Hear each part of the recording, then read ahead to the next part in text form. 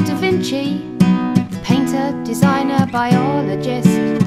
He saw a future where the killing of animals didn't exist. He said, The time will come, he said, The time will come in 500 years and it's still going on.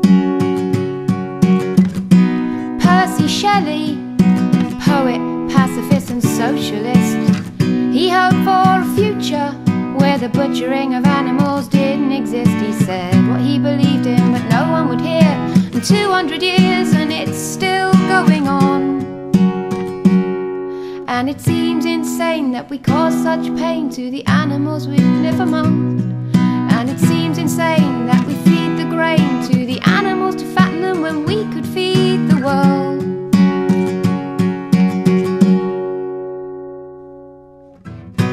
Leo Tolstoy, novelist and author of War and Peace. He hoped for future where unnecessary killing didn't exist.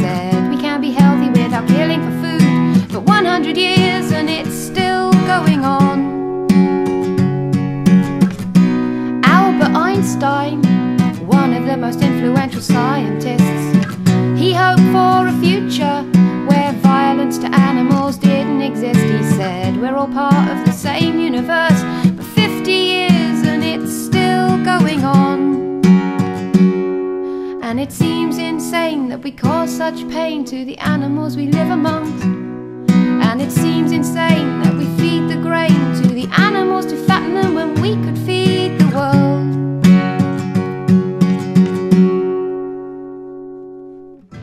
Leonardo da Vinci, painter, designer, biologist. He saw a future the killing of animals didn't exist. He said, The time will come, he said, The time will come. But 500 years and it's still going on. Albert Einstein, Leo Tolstoy, Percy Shelley. Leonardo da Vinci.